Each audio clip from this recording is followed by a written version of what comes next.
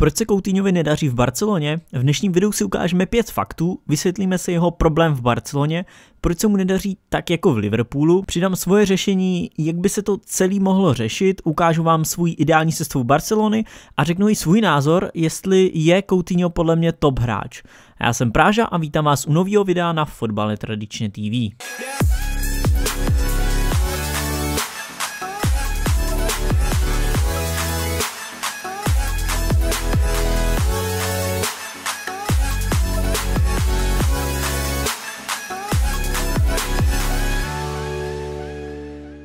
Fakta. Má dva bratry a oba jsou právníci, ale mají společnou tradici, že si po zápase sednou a hodnotí celé utkání společně. V Espanolu ho vedl Početino, ale následně přestoupil do Interu, kde ho trénoval v Čechách velice známý Stramačony, no a ten usoudil, že Coutinho není dostatečně kvalitní, takže ho poslal do Liverpoolu a prakticky mu ani nedal skoro ani žádnou šanci.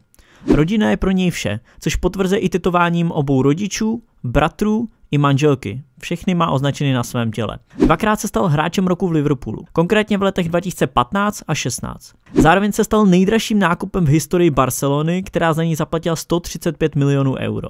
Teď pomalu přejdeme do současnosti a podíváme se na problém, který Coutinho v Barceloně zažívá. Ale prvně mi dejte vidět do komentářů, co si myslíte o současné situaci Coutinho v Barceloně vy. Případně zkuste se trochu rozepsat, proč si myslíte, že se mu v Barceloně momentálně nedaří. Už výše jsme si řekli, že přišel za rekordní částku, stal se rekordním nákupem v historii Barcelony. Zároveň si přestup z Liverpoolu doslova vytrucoval a hodně do Barcelony chtěl, stejně tak jako Barcelona hodně chtěla jeho. Když se podíváme na profil Coutinho, prostě malý, technicky dokonalý hráč, který je vynikající v kombinaci, tak máme profilově naprostou zhodu s tím, o čem vždycky byla Barcelona a jaký typ hráčů požadují fanoušci.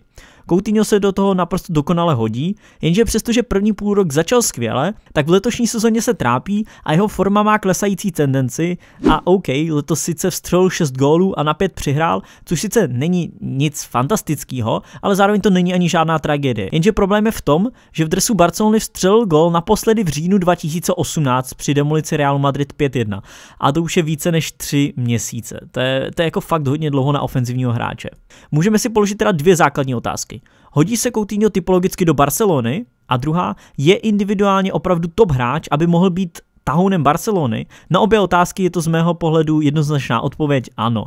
Kde se tedy stal problém, že to Coutinho nedokáže naplnit i na hřišti? K tomu bych přidal třetí otázku. Využívá ho Valverde správně? Tady už je moje odpověď negativní, protože si nemyslím, že ho využívá tam, kde je to pro Coutinhové vlastnosti nejlepší. Barcelona momentálně praktikuje rozestavení 4-3-3, což je jejich devízou a post Coutinho je na levém křídle. Pro připomenutí na stejném postu nastupoval také v Liverpoolu, jenže hrát levý křídlo ve dvou různých týmech může vyžadovat vyžadovat úplně jiný atributy, které se váží k hernímu stylu daného týmu. Pokud se podíváme na poslední zápas s Chironou, tak se nám vybaví jeho neproměněná šance. A co si budeme povídat, bez zesporu to byla jednoznačně vyložená šance, šel sám na branku a měl ji proměnit. Jenže problém je v tom, do jakých situací se Coutinho dostává. Není to sprinter a jeho přednosti určitě nejsou náběhy za obranu. Tohle není jeho silná stránka, takže je za mě problém, že hraje něco, v čem se neukazují jeho přednosti, nedokáže tam vyniknout. Do podobných situací se dostává často. Teď na grafice můžete vidět další náběh, tentokrát na křídlo do prostoru, ale to je něco, jak už jsem říkal, v čem on prostě nevyniká, není to jeho styl. Naopak on má být ten, kdo bude podobné přihrávky rozdávat a hráči okolo něj by měli podnikat náběhy za obranu. Takže ano, vina samozřejmě je i na straně Coutinho, měl by hrát lépe, měl by být efektivnější, měl by více napadat a měl by být agresivnější v práci bez míče, o tom žádná, ale Valverde mu to zbytečně stěžuje tím, do jakých pozicí ho dává. Dalším klíčovým faktorem je pozice Messiho, protože když si vzpomeneme na jeho doby v Liverpoolu, tak hrál taky z levého křídla a dařilo se mu tam. Jenže tady bych vypíchl tři klíčové pointy. Za prvé, postavení Coutinho v Liverpoolu bylo úplně jiný, než je dneska v Barceloně. Pod klopem to byl právě on, okolo kterého se točila celá hra a drtivá většina akcí šla přes něj. To se v Barceloně nikdy nestane, protože je tam Messi. A je to úplně přirozený, je to tak správně, Messi je prostě jeden z nejlepších fotbalistů na světě, takže přirozeně jde většina akcí přes Lea. Druhým pointem je chování pravého křídla. Už jsme si zvykli, že v obou týmech nastupoval Coutinho z levé strany, ale je rozdíl, jestli na druhém křídle máte Maného, který roztahuje šířku hřiště, případně podniká náběhy za obranu a tolik se nezapojuje do kombinace. Než když máte v týmu Messiho, který se naopak drží více uprostřed hřiště, chce tvořit hru a je tedy na levém křídle útočníkovi, aby roztahoval šířku hřiště, což je ale něco, v čem Coutinho prostě nevyniká, jak už jsem několikrát řekl v tomhle videu. Zkrátka Neymar z něj nikdy nebude. Typologicky jsou to úplně jiní hráči s různými přednostmi a je potřeba, aby si k tomu takhle přistupovali nejenom trenér, ale zároveň i fanoušci Barcelony, protože to, že přišel Coutinho jako náhrada za Neymara, dobře. To, že je taky Brazilec, dobře. To, že je ofenzivní hráč, dobře. Ale to neznamená, že je typologicky stejný jako Neymar. Prostě jsou to úplně jiní hráči a je potřeba je takhle hodnotit. Prostě není možný hodnotit Coutinho stylem Neymar udělal tohle nikdy se Coutinho nedostane na čísla, který má Neymar. Třetím bodem je celkově herní styl obou týmů, kdy pod Klopem aktivně napadali, snažili se hrát hodně přímočaře, zatímco pod Valverdem je to mnohem úpětější, defenzivnější a zaměřené především na to, aby se míč nestratil a soupeř se nedostal do protiútoku. Takže ani Valverdeho defenzivní taktika mu příliš nepomáhá a jasně souhlasím s tím, že Coutinho v Barceloně šel, co se týče napadání hodně dolů. Někteří říkají, že prostě dosáhl svého snu a jeho work rate polevil. Já si spíš myslím, že je potřeba kolektivní napadání. To znamená, když vedle sebe máte ještě Messiho, který prostě nenapadá, ale to je OK, on je prostě top hráč, tak je pro vás složitější se namotivovat, než když tam lítá Firmino s Manem a prostě oni tam lítají a napadají, tak přirozeně se Coutinho připojil k ním a neměl problém dřít pro Liverpool. Nemyslím si, že by to bylo nedostatkem motivace. Prostě jenom vliv ostatních hráčů v týmu je taky dost důležitý. Takhle jsem se jenom pokusil zhrnout jeho problém v Barceloně a poukázat na to, že Valverdeho herní styl mu příliš nepomáhá. Zároveň ale důležité si připomenout, že vždycky tomu takhle nebylo. V úvodní sezóně se mu dařilo fantasticky.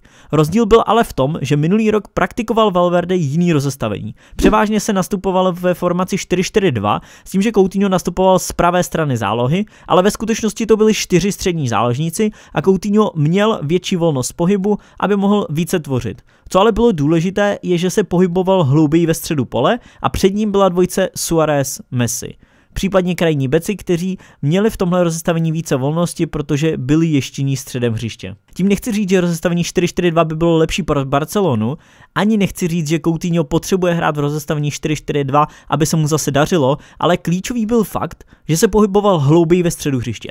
Měl větší vliv na přechod útoku a do finální třetiny hřiště se dostával z druhé vlny. Pravá záloha pro něj určitě není ideální post, ale vzhledem k prostorům, v jakých se pohyboval, a využíval díky tomu své přednosti, což bylo ve finále úplně klíčový a pomáhalo to celému týmu. Na druhou stranu je potřeba říct, že Coutinho je náladový a ne vždycky se mu chce napadat, vypadá občas otrávený z toho, že se celá hra točí okolo Messiho, takže jasně, je vina na obou stranách. Nikdy to není jenom na jedný. Vždycky jsou tam dvě strany mince, úplně ve všem. Moje řešení je teda zůstat u formace 4-3-3, ale trochu hýbnout s pragmatickým Valverdem, který se snaží hrát až příliš na jistotu a vrátil bych Coutinho zpátky do středu zálohy, kdyby mohl nastupovat vedle Artura s tím, že by je jistil Busquets. Na grafice vám vyskočila moje ideální sestava Barcelony i s tím, že by na pravém beku nastupoval Semedo místo Sergio Roberta. Sice je to ofenzivnější varianta, ale Artur dokáže bez větších problémů zahrát na pozici Xaviho, s tím, že Coutinho by zaujal o něco ofenzivnější pozici Iniesty.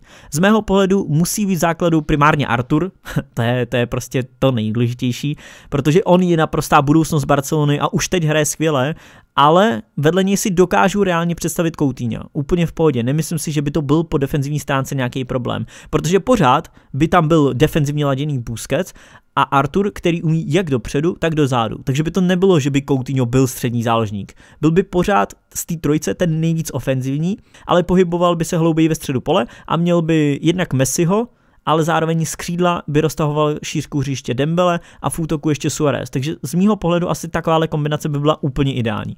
Bohužel pod Valverdem nevidím nic podobného reálně a nemyslím si, že by podobnou sestavu z dlouhodobého hlediska zvolil. Z mýho pohledu to je ale ideální. Coutinho je za mě bez sporu top hráč, pouze potřebuje pomoc jak od Valverdeho, tak od fanoušků, protože momentálně je psychicky dole a neustálá kritika mu určitě nepomůže.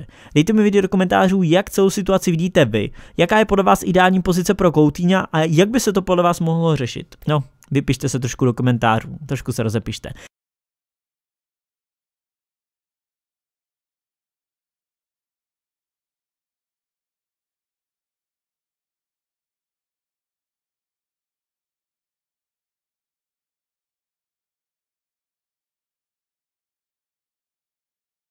Pokud se ti video líbilo, dej tam like, nezapomeň ani na odběr se zvonečkem, no a mrkni i na náš Instagram. Pro dnešek už to všechno, tak se mějte přesně tak, jak chcete a zatím ahoj ahoj.